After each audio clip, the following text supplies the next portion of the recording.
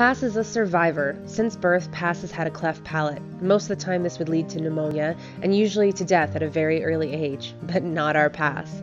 Pass is a very sensitive horse and he feels deeply with his team. He will leave his gift on you, just as he does with the other members of the herd. He is a horse that helps balance his herd, as being balanced in life keeps one safe, and he knows how to get to the root of the problems. He is proof that all of us can survive against all odds and live a purposeful and fulfilling life. I am a survivor, and I will show you that you can overcome anything. Pass.